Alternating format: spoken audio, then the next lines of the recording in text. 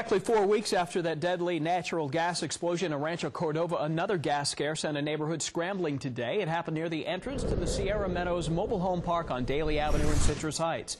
KCRA3's David Bienick is live on the scene with more. Well, good afternoon. Behind me, you can see that PG&E crews are now using shovels to dig down to the leak. They're about three or four feet under the uh, surface of the street here. They say right now there's no risk of an explosion, but for several hours earlier today, neighbors were certainly nervous. Firefighters using sensor devices confirmed what neighbors' noses had been telling them. Natural gas was leaking out of a pipe near the entrance to Sierra Meadows Mobile Home Park in Citrus Heights. We could have had heavy concentrations of natural gas into a structure or any other building, and then it would have found an ignition source, and boom. Neighbors in the park say they've been smelling gas on and off for several weeks. Then today, the manager decided that the smell was strong enough to call for help. My maintenance guy was out here this morning, and I said, you know, can you check see if you smell gas out there? And he said, no, I don't smell any.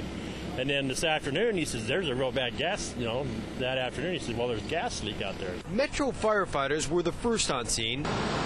The manager says PG&E crews arrived about 20 minutes later.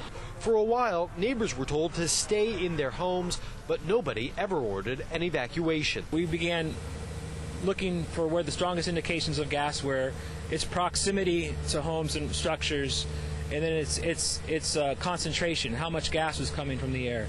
And based on all that information, we made a decision, with, along with the fire department, that evacuation wasn't necessary. By mid-afternoon, PG&E had isolated the leak location, started venting the gas out of the ground, and planned to have repairs done by sometime this evening. I told one of the police officers that was here. I told him, I said, well, I really don't feel like getting blown up today.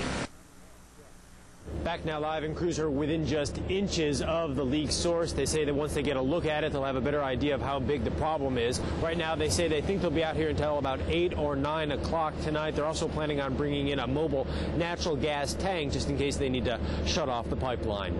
Live in Citrus Heights, David Bienick, KCRA 3 reports.